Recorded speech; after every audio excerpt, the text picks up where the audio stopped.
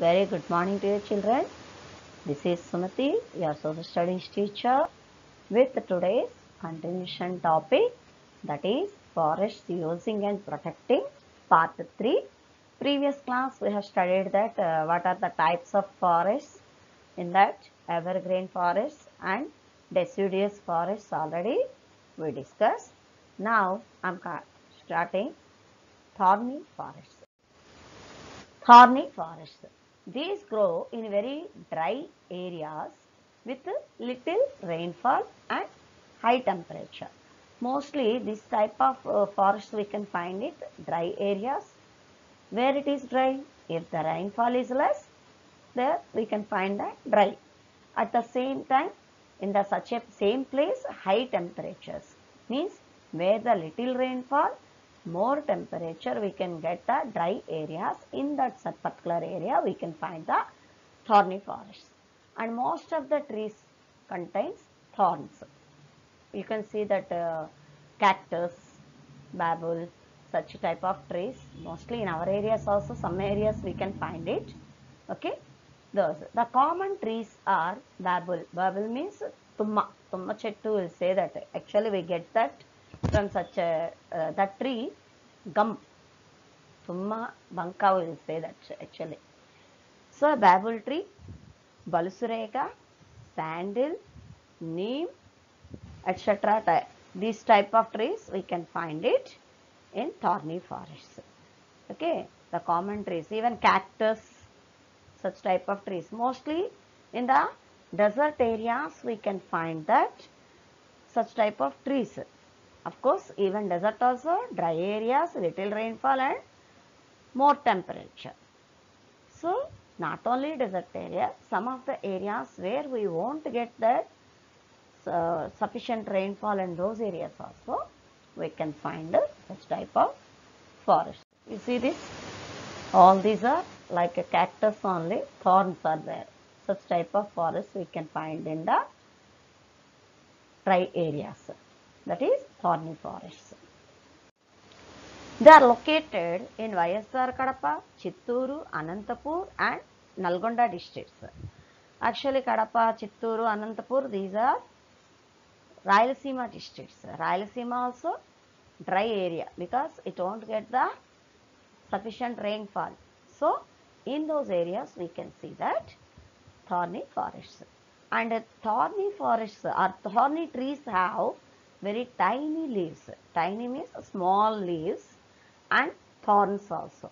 So these small leaves and the thorns actually protect these trees because they conserve the water means they contains the water that protects the tree even the forests are also not dense means it's not thick forest sparse that means here one tree there another tree there another tree like that. Uh, distance is more between the trees and have open spaces they'll grow. And more undergrowth with fewer trees. Mostly some trees are totally grown in that undergrowth. That means totally depth. Because it is the dry no? The roots are long for these uh, thorny trees and uh, those roots actually get the water from deep to survive. Okay? So these are thorny forests. You can see that. Another picture. See totally these are thorns are there. Totally thorny forests. We can find it in that. Means it is like that only. No water dry area. So totally thorns we can get. Littoral forests. These grow mostly in the sea coast areas. Sea coast means you know no? We have we also have the sea coast ramakrishna beach is there. Actually bay of bengal. On sandy beach actually it should be sea coast and on sandy beach and marshy lands. The beach should be sandy but always it should become marshy lands. That means wet. Wet and sandy such uh, landforms we can see that uh, tides always affected with the tidal waves and on the lands affected by tidal waves always the tides waves are getting tidal waves they are getting In such area, we can find the littoral forests. Here the trees are adapted to salt waters. Actually, sea means salt water. So, these trees adopt salt waters and the flow of tidal waves on it depends upon. Means in salt water it goes and it depends upon the flow of tidal waves. Means when the wow, sea coast area, the tides will get it, no, those waves and tides, be depending upon those, the trees grows. See, these are also in the water, these trees are there, these are all growing in the water content only. Where it is? Marshy area, always it contains that water. And mostly it is sandy. At the same time always it gets the sea water. Okay? Such type of areas we can see that these uh, littoral forests are the swamp forests or sea coast forests and even these are also called mangrove forests okay? These are also called mangrove forests. The trees have developed some unique features to survive in this difficult environment. Actually, these trees, salt water means no tree grows. But here, such a typical climatic conditions, these trees have unique features. And as per that water and soil, these trees survive in a difficult environment. And here, you can see that Uppu Panna, Boddu Panna, ఉరడ మడ తెల్లి మడ actually in Telugu mangrove mangrove forest ఇస్తేనో these are called మడ అడవులు in Telugu actually that's why here the trees also names are given మడ తెల్లి మడ గుండు మడ కదిలి బెల్ల these are all some of the trees which grows in littoral forests. Status of the forests in Andhra Pradesh. What is the status of Andhra Pradesh? As per the forest. Actually, whatever the area landform we have, even throughout the world or the state wise or the country wise, uh, how much land we have, from that one third of the area must be compulsory under forest cover. That means should be forest. But day by day, for our needs, we are cutting the forests. So it is decreasing. It is called the deforestation. You know already. If suppose we are trying to increase the forest area, planting more and more trees, it is called afforestation. Already you have studied in the lower classes. So in that Andhra Pradesh, whatever the area is there, from that it should be one third of the area must be under forest cover. That means approximately uh, 33%, 33.3%.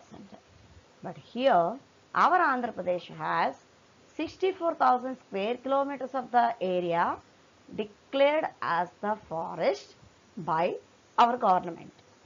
But how much it is? Actually, I said you 33.3% it should be under forest cover. But this is about 23% of all the land in the state or nearly one quarter of our state. Understood? 23% of all land in the state is with covered with forest. Actually, it is given nearly one quarter. How it that means one fourth. 25% is one fourth, but here it is 23%. Actually, when this book is printed, it is 23%. As we know that it's a decreased below that. Actually, it's at present below 20%. Okay. But as per the book, we have to study. This is about 23% of all land in the state or nearly one quarter of our state. Actually, as we studied, one third it should be under forest. However, all this is not really forested. Even that 23% also total it is not exactly properly, properly not considered as a forest. As only about 16% of our land has tree cover to qualify as forest. Here totally 16% of the area only we can say that proper forest area is there. That means the rest of 7% little bit trees are there but it is not cannot considered by as a forest. We can study that. See, this means that is about 7% of our forest lands are open grounds and with very few trees. Forest means it should have more and more trees. But this 7% whatever they said, they, they didn't consider as a forest because it is a open grounds with very few trees.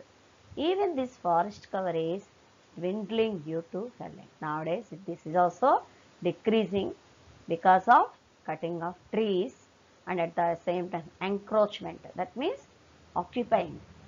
When it is started to encroachment, even some of the uh, places started to mining. Means whatever the area it is, cutting the forest for encroachment, for mining and felling the trees, this total comes under 7%. So every year about 100 square kilometers of forests are lost in our state. Means yearly approximately about 100 square kilometers of forests we are losing because of cutting, occupying, mining, whatever the purpose may be, they are destroying the forests. So, because of that reason, we are losing every year 100 square, square kilometers of forest area. Now, this is the time for assignment.